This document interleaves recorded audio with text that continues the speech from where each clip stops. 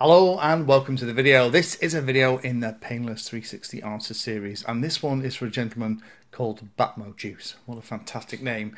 Batmo was asking for a quick overview of all of the things that you'll see when you're looking on websites like this. Uh, RTF, BNF, PNP, KIT and what that actually means in terms of what you're buying. The other part of the question here is very much around the actual pieces that come with it and how ready to fly doesn't mean that it actually is. So let's deal with that part first before we get into what all those three letter acronyms actually mean. So if you're starting out in the hobby, there's a very good chance that you'll start with a ready to fly model that comes with everything. And we'll get on to a little bit more about what that means, but it'll be the model, the battery, the charger, the radio, the receiver, have all the servos and linkages all set up inside it's a great way for somebody that's coming into the hobby to get everything they need in one single box.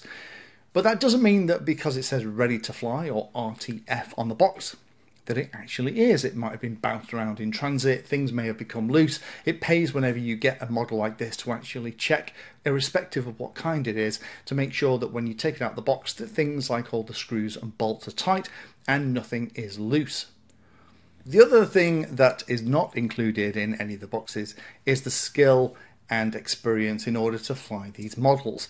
It does take a little bit of time to get models uh, to fly like you see in YouTube videos and there's lots and lots of practice big part of that practice is crashing. It's just one of the things about it. Have loads of videos if you're looking to get into something like fixed wing in particular, but it goes for anything that flies. Uh, they tend to not like being smashed into the ground at high speed. Well, been smashed into anything actually.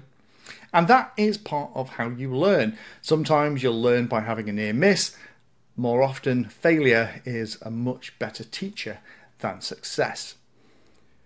So expect to go through quite a few models, so you'll end up with lots of spares. But one of the big tips I'll give you is if you're getting into the hobby, try and get hold of the simulator. Lots of free ones kicking around now. I've reviewed quite a few on the channel, and they can save you an absolute fortune because if you crash in the simulator, it doesn't cost you anything. You just hit the reset button and you start flying again.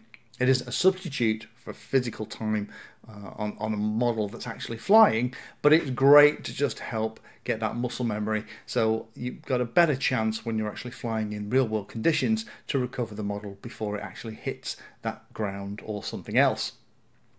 Models aimed at a beginner tend to have things like stabilizers inside, as those people like ZOHD have things like the Copilot, things like Horizon Hobby will have the AS3X, I think it's called, stabilizer system in it it will list out in the description of the model quite clearly when it has a stabilizer inside. And stabilizers are great, they're like training wheels when you are learning to ride a bicycle. However, it will get to a point where you don't need the training wheels anymore. And actually, once you take the training wheels off, you'll find they're a lot more fun to fly. But they're a really, really good support when you're getting into the hobby to stop you getting into those situations where, again, it'll hit the floor or something else.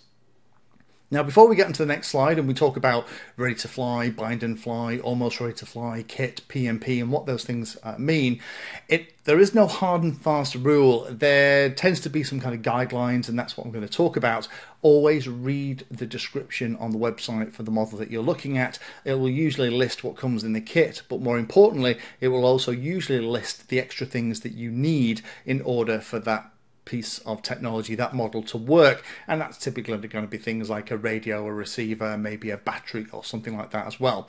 But before we get into that, let's start at the very top and look at Ready to Fly or RTF as the first one we look at of those three lectures.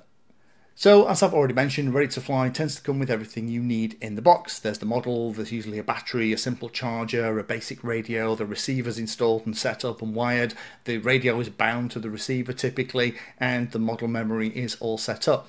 Now, again, that doesn't mean that in terms because it's ready to fly in the box that you can just take it out and you can just fly it and it'll all work perfectly. There is a learning curve to go up, but in terms of the physical pieces you need in order to go flying, it should come with pretty much everything. Double check with any ready to fly model that there isn't any also requires at the bottom of the listing because in theory you should get everything. Now, this is again where most new pilots will start who already don't have an investment in a more expensive radio or charger or LiPo batteries kicking around, and it's a great way to get into the hobby but there is a downside in that things like the charger tend to be very cheap and cheerful, so do the radios. The radios typically won't bind to more than a handful of models if you're lucky, and they tend to be quite plasticky. Uh, ready to fly models are great when you're starting, but once you have had one or two, you'll realize that actually it's worthwhile you investing in a computer radio that will actually bind to lots of different models and you can have them all set on, on there and you'll probably invest in something like a lipo charger, a proper battery charger as well, because the charger that comes with these things will typically take ages to charge any battery.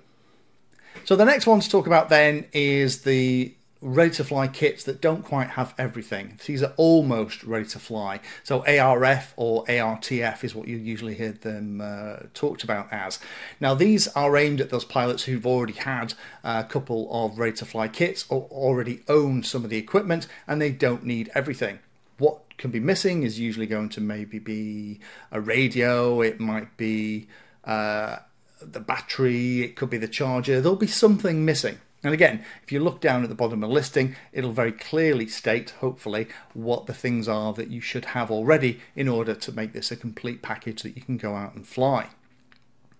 Bind and fly is a category of almost ready to fly. Bind and fly tends to be models that, so long as you have a radio that can bind to the model, then away you go. So you get the model or the electronics are in it. You typically will get a battery, might even get a simple little charger in there as well, but it is missing the radio.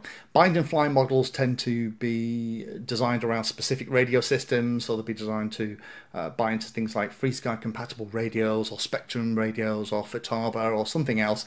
And you get them and you can bind them and set them up and away you go. So it's typically bind and fly. You'll have everything in there apart from the radio, but you can also get instances where they will be missing the battery as well, and there'll usually be some kind of upsell on the websites for things like this for you to buy those extra elements that aren't included as part of the box.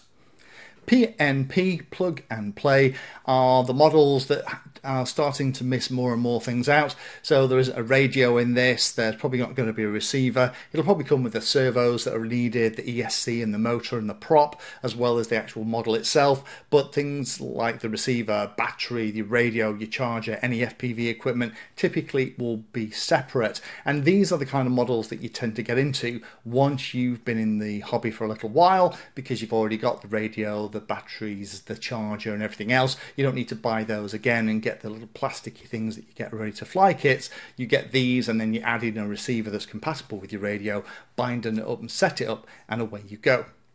And then that leaves the last one which is the kit. And kits are usually pretty much just the foam. Occasionally you'll get extra bits in there as well. So you will have to locate your own servos, ESC, motor, battery. You're going to need your charger, your radio, and everything else as well. And kits are the kind of thing that I've been building recently from people like uh, E-Wings with the Vortigaunt and things like that. Uh, they're immense fun, great fun to build if you've got a bit of time, and very satisfying to get into the air because you know they're flying because you've actually built them properly. But for a new pilot, there is uh, the level to entry is a little bit too high. So typically the way it will work is that you'll start out with ready to fly packages where you get everything and then you'll very soon get bored of the plasticky cheap radios and the terrible chargers. You'll invest in those and then you'll start buying uh, things like bind and fly, plug and play and ultimately kit based stuff. Again, there's no hard and fast rule for this. Everyone has their own particular interpretation uh, of what almost ready to fly versus bind and fly versus P and P is. It pays to look at the listing and look at exactly what is included in the kit and more importantly in the list of what else you need to have in order to make it fly. Thank you for spending your time today watching that video. You can find me in all the usual places on social media and if you're trying to learn about a subject then check out the playlist. All of my videos are organized into easy to follow playlists that if you're trying to learn a topic will take you from the basics right the way through to some pretty advanced stuff.